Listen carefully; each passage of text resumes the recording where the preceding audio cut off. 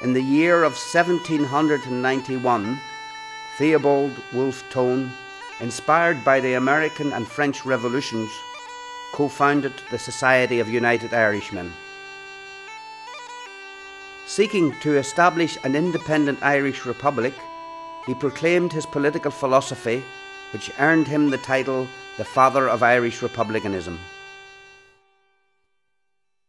To subvert the tyranny of our execrable government, to break the connection with England, the never failing source of all our political evils, and to assert the independence of my country.